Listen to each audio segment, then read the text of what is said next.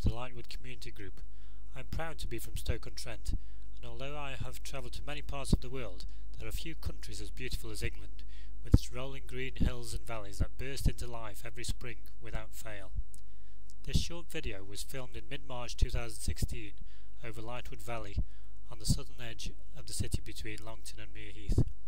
The Lightwood Community Group, along with the vast majority of the residents of Stoke-on-Trent and the rest of England, object to greenbelt land being used to satisfy the greed of a small minority with plans to destroy an area that I personally consider to be an area of outstanding natural beauty. If the planning application is approved, this beautiful site in Lightwood, with hundreds of years of farming history, will become a huge, hideous building site for the short term and an executive housing estate forever. This beautiful, quiet area, along with its rich diversity of flora and fauna, must be preserved for generations to come. Thank you. How do you stop towns and cities just spreading and spreading until there is no green and pleasant land left? Well, politicians and town planners devised one solution in the 1930s and 1940s. It was called the Green Belt. In our soapbox this week, the survivalist Ray Mears argues that this concept is under threat and that politicians need to take brave decisions. The Green Belt. You know, I was brought up to believe in Britain as a green and pleasant land. That's very important to me. We have incredible open spaces, fields, meadows, common land, woods and forests.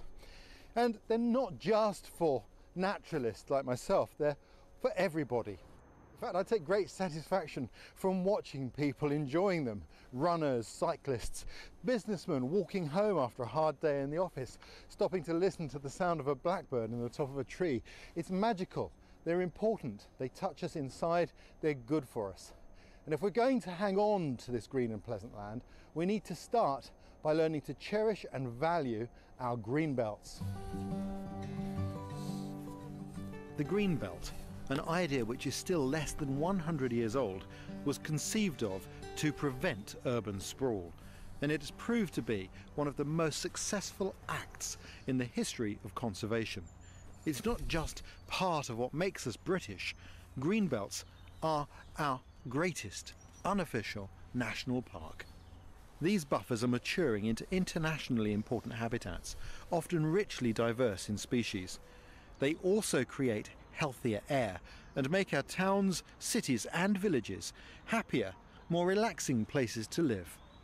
It's really important that we preserve the green belt. It's very important to who we are. Can you imagine living in a world with no green spaces? Without that wonderful song? We've been asked to sign up to the concept of a big society. Well, here's an opportunity for politicians to put their money where their mouth is and do something good for the benefit of people for generations to come. Do you think the green belt should be totally protected? You should look at just brownfield sites for. I think the, the green belt should be sacrosanct. The moment you start to chip into it, you, un, you, you, you, you start to pick a hole in the dike, and you can't put that back.